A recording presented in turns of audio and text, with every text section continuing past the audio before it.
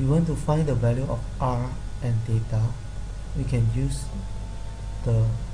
POL function. So we want to change from rectangular form to the polar form. The x is 3 and then comma the value of y is 4 and you will get that the r is 5 and the theta is 53.13 degree and we want if you want to find the value of x and y that is you want to change from polar form to the rectangular form then you call rectangular. And you have the value of r